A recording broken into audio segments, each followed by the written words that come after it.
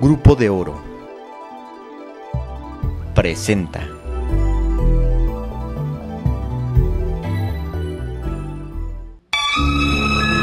Es el 50, un año ya de trabajo absoluto. Hoy trabajando con puros diamantes en bruto. Pa.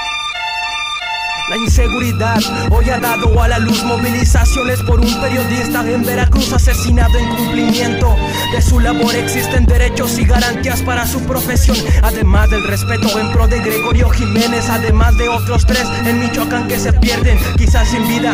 Tal vez no haya un consuelo. La pregunta es: ¿quién calla la voz del pueblo? Diez personas detenidas tras marcha de dos mil manifestantes. Sinaloa grita: liberen al Chapo del penal. Junto a Palacio Municipal hay que cuidar a León, no se nos vaya a escapar. Camionetas de lujo escolta manifestación en Guamuchil, protesta contra la extradición. Pero contra gobierno, la publicidad en la ciudad. Para donde se hagan piedras les tocará. Mientras unos quieren continuar con la sesión en el Congreso, los del PRD quieren detener la lectura del documento que tiene la ley de educación para el Estado. Si no me creen, pregúntele al diputado Leonardo Guzmán, quien le arrebató el dictamen de las manos a Jaime Darío. Y como todos saben, tomaron la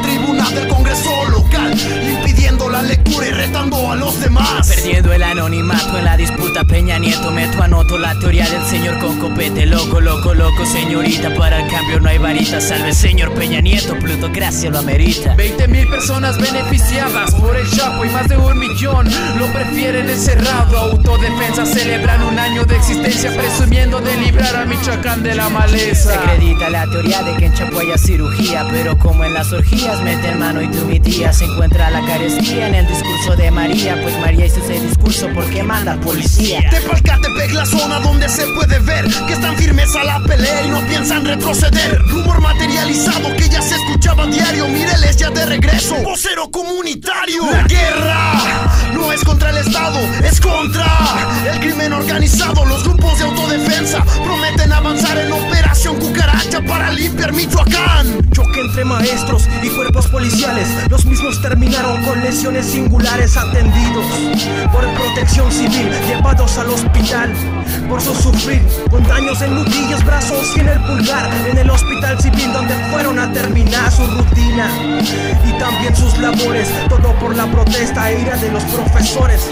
Ahí quedó, directo desde Dirty Graph Headbangers Producciones para Agencia Mexicana de Información Análisis.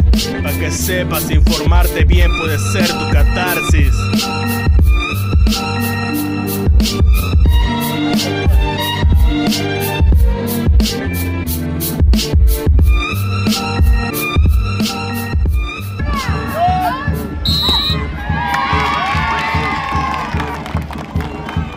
you